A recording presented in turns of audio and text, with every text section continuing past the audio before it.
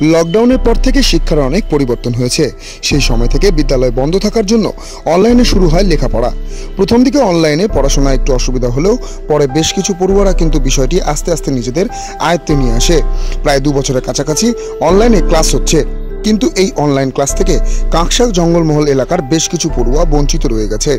কারণ এই এলাকায় না আছে নেটের পরিষেবা, আর না আছে মোবাইল কেনার সামর্থ্য। সেই কারণে বহু পড়ুয়ারা ভবিষ্যৎ কী হবে সেটাই এখন বড় প্রশ্ন। এমনই একটি গ্রাম কাকসা বনকাটি বাগানপাড়া এলাকা।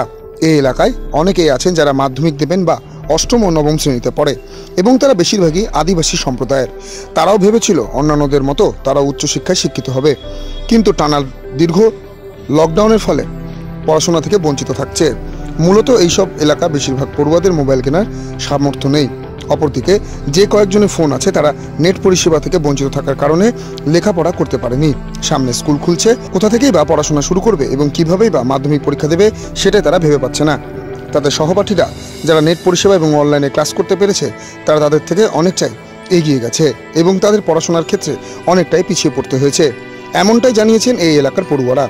কেমন করে এদের শিক্ষার যে ঘাটতি পূরণ হবে সেটাই এখন বড় প্রশ্ন। অযোধ্যা হাই স্কুল কোন ক্লাসে পড়ো? ক্লাস এইট তো অনলাইনে কীরকম ক্লাস হয়?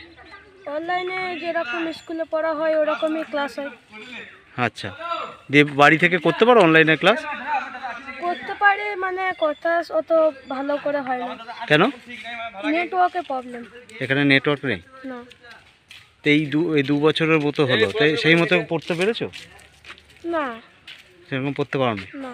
তো কি মনে হলো যে এরকম পড়াশোনা করছিলে সেরকম আছো না পিছিয়ে গেছো অনেকটা পড়াশোনা থেকে? পিছিয়ে গেছে।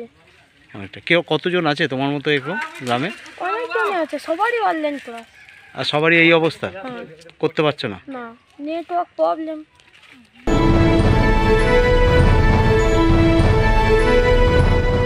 report rebel India dot live